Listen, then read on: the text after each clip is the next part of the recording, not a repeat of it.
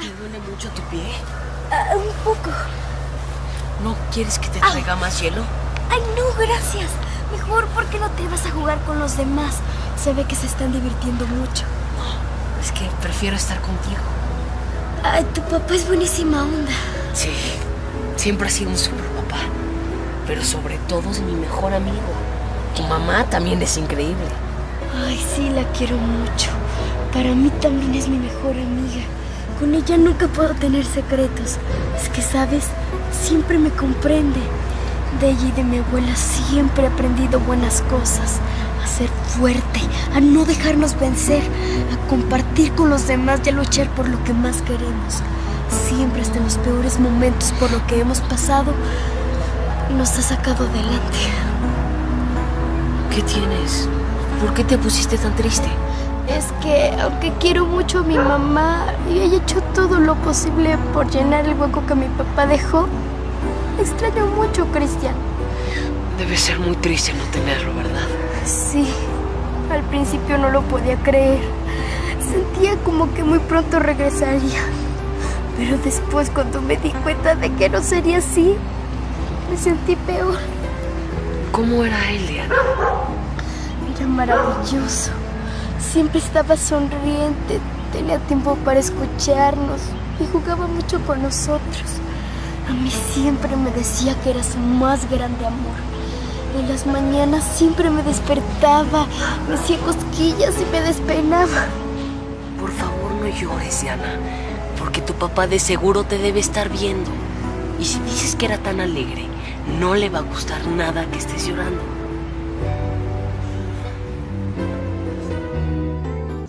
Cristian? Platícame cómo es tu mamá. ¿Mi mamá? Bueno. La extrañas, ¿verdad? Sí, mucho, muchísimo. A pesar de que ella nunca ha sido muy cariñosa conmigo, sé que en el fondo me quiere. Pero, ¿sabes? Es horrible que las dos personas que más quieres en la vida se separen. Que ya no puedas tener una familia normal como la de todos. Aunque ellos ya no vivan juntos, sigues queriéndolos muchísimo a los dos. Y si te vas con uno, extrañas al otro. Por ejemplo, ahorita me vine a vivir con mi papá. Pero no sabes cuánto extraño a mi mamá. ¿Pero eran muy unidos? No, bueno, en realidad no.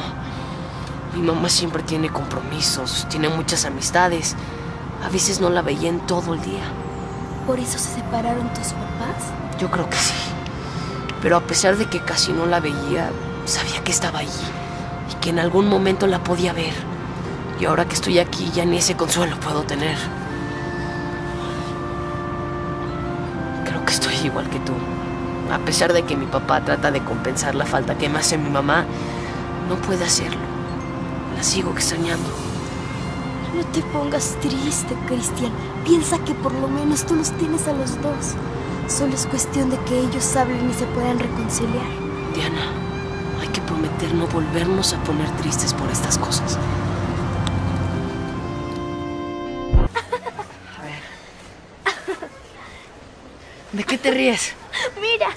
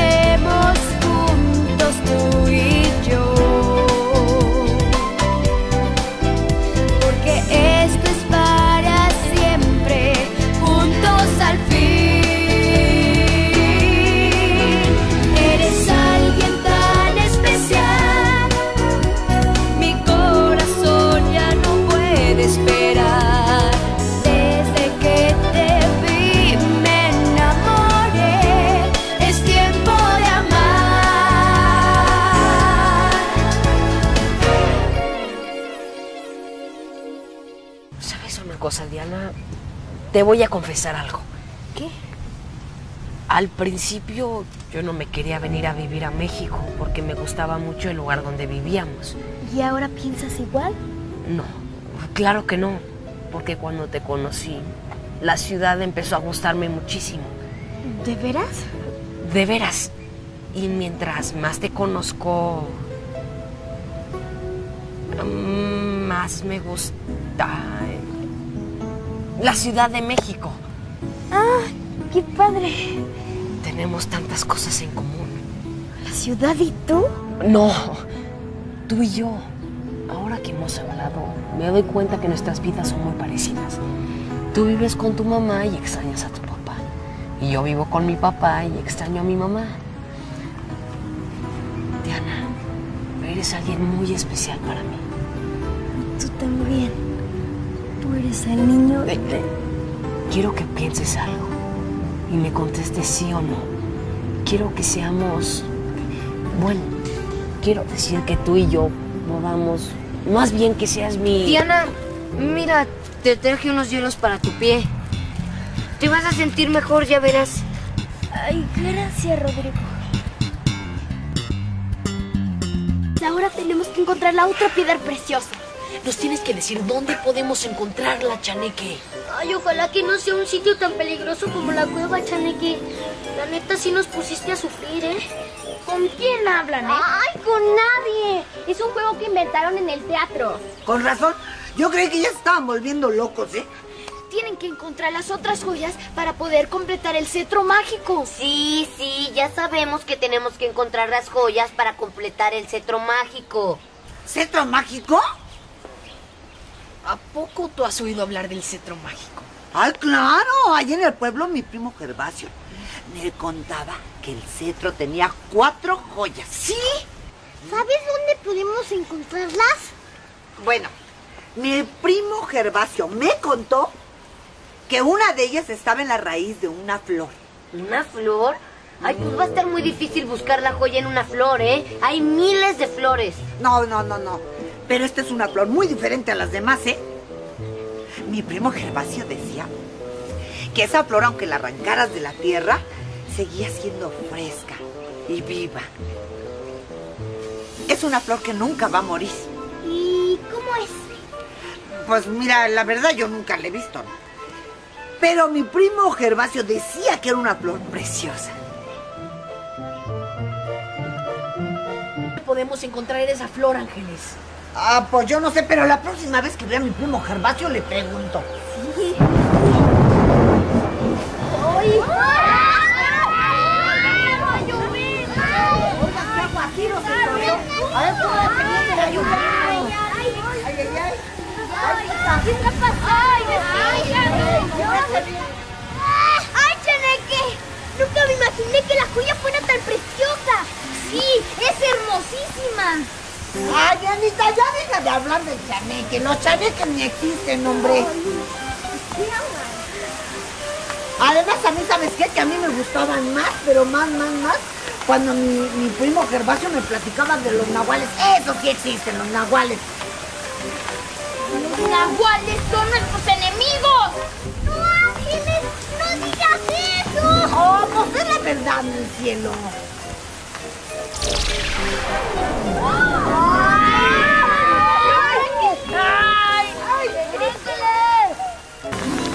favor, Chaneque. Ángeles es muy buena. Está bien, pero no quiero que vuelva a decir que prefiere a los nahuales. Ángeles, si quieres volver a tener tu cara, tienes que decir que no prefieres a los nahuales. No, no, no, no prefiero los nahuales. Es más, me caen gordos los nahuales. ¡Lista! Ya como antes. Ya se me bajó el hinchado, ¿verdad? Extraño, ¿no? Tan bonito que estaba el clima y de repente cambió. Y estamos lejos. luego lo de ángeles. En mis libros dice que las lluvias y los fenómenos naturales repentinos tienen que ver mucho con las fuerzas del mal. Sí, porque esa tormenta la produjo Edor, mi enemigo. Pero tu enemigo debe ser muy poderoso porque llovió durísimo. Por eso tenemos que apurarnos a encontrar las joyas. Porque si Edor está tan enfurecido, su mundo también corre peligro. ¿De veras? Sí, mucho. Ustedes también tienen un enemigo muy poderoso. ¿Y cómo se llama mi enemigo? Severiano. ¡Severiano! ¡Qué feo nombre! Así se llama mi abuelo. Severiano Martínez. Es que no entiendo qué tiene que ver mi abuelo con todo esto. Pero es cierto, en tu casa habitan las sombras del mal. Por eso el chaneque no quiere entrar a tu casa. Vámonos porque Ángeles ya se cansó de esperarnos. Sí, vamos, sí, verde, vamos. Está haciendo tarde, niños. Yo creo que deberíamos dividirnos para que lleguen más rápido a sus casas. No vayan a regañarlos sus papás. Además, Dianita no debe de caminar mucho. Eh, yo, yo la puedo cargar, ¿eh? No, Rodrigo, no es necesario. Vamos a hacer una cosa, Ángeles. Dígame, señor. Vete con Cristian a dejar a Diana y me esperas a mí. Sí, señor. Yo mientras voy a dejar a todos los demás. Me la pasé increíble. Ay, sí, yo también. Mm, Estoy muy feliz porque ya encontramos la joya.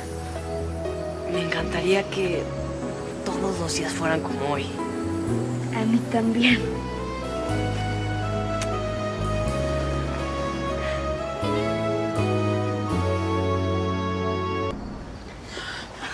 Ay, mi vida, gracias a Dios que estás aquí ya. Me tenías muy preocupada. Virgen Santísima, ¿pero qué te pasó? Ay, me lastimé el tobillo, pero no te preocupes, abuelita, ya estoy bien. Ay, usted dispense, señores, que se nos hizo muy cortito el día. Ay, ay, usted no sabe ni quién soy, ¿verdad? Ay, yo soy Ángeles. Soy la nana de Cristian. Bueno, bueno, bueno, no soy su nana, porque con lo grandote y guapote que está, pues ya no es para que tenga nana. Pero si usted quiere ser la nana de Cristian, dígame. Mucho gusto, mucho, Mucho gusto, mucho Ángeles. Yo soy la abuela de Diana. Y quiero agradecerle que la haya traído hasta acá. Ay, no tiene nada que agradecer. Bueno, Cristian, vámonos, que tu papá nos debe estar esperando. Buenas noches. Buenas noches. Entonces, nos vemos mañana, ¿verdad? Sí. Ok. A ver, vámonos. Vámonos,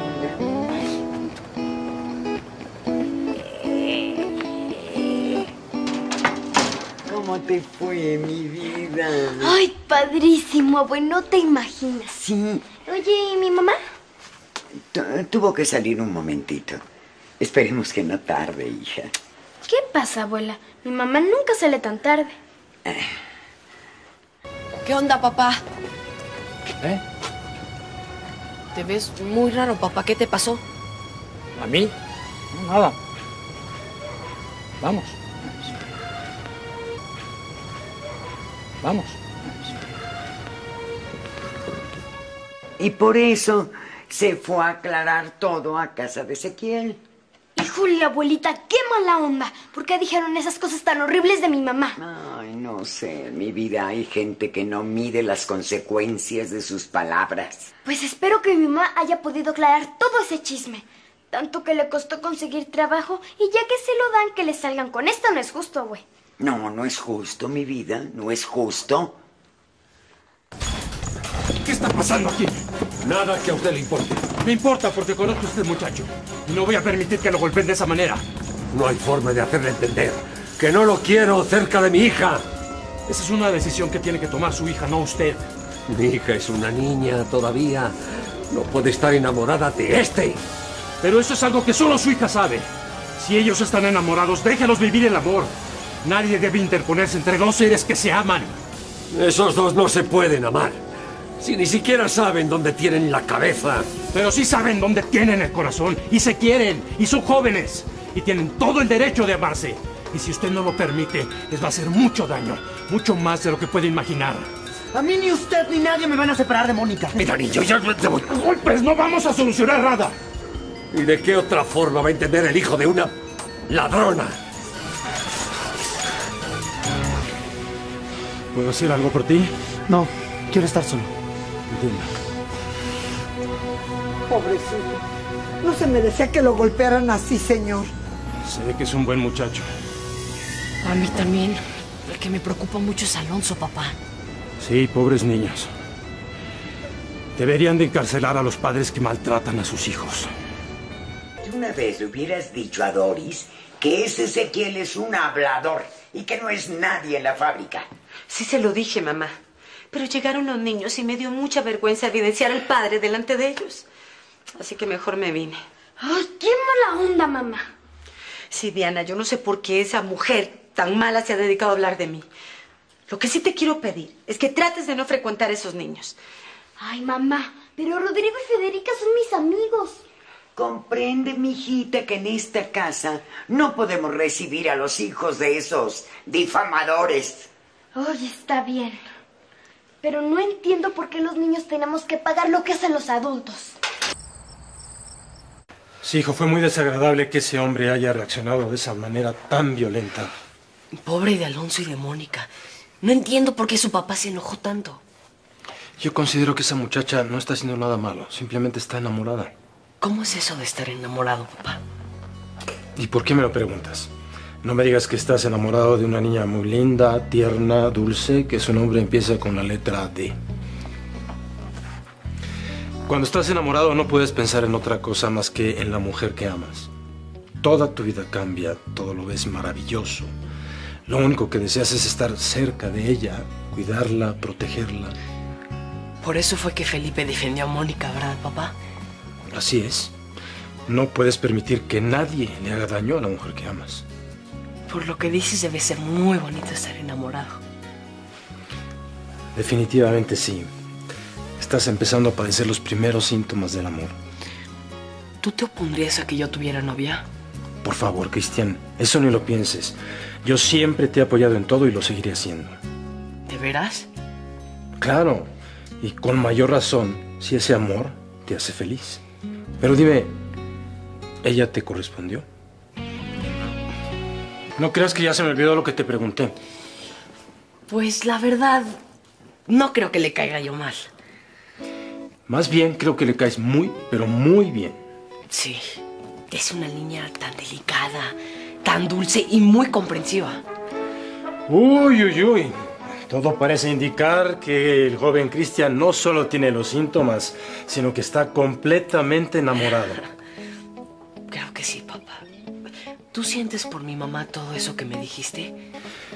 Si lo que quieres es saber si sigo enamorado de tu mamá, no te quiero lastimar, hijo. Así como tú me has hablado de tu verdad, yo te tengo que hablar de la mía. Sé que esto te pone triste, sé que quisieras escuchar que sí, que sigo enamorado de Vivian. Pero no es así, el amor tal como florece, si no lo cuidas, también se marchita. Entonces, ¿tú y ella ya no se van a reconciliar? Me temo que no, hijo. Cada quien tiene que seguir su vida y ser feliz al lado de otra persona.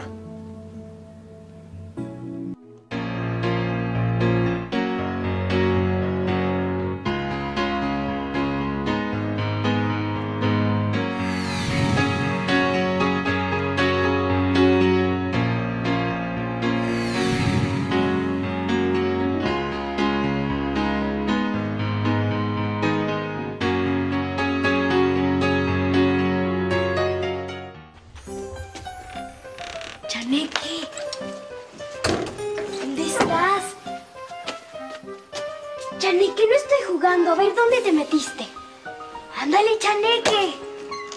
¿Qué onda, bruja? ¿Qué haces? Estoy buscando al Chaneque. No lo encuentro por ningún lado. No me digas. ¿Y tienes idea de cuáles son los escondites de los chaneques? No. Chaneque, ya está, ándale. ¿Sabes qué? ¿Qué? Que a mí se me hace que el Chaneque ya se fue. No me digas. Sí se fue, nos engañó. Lo único que quería era que lo ayudáramos a encontrar su joya para luego huir con ella. Ajá.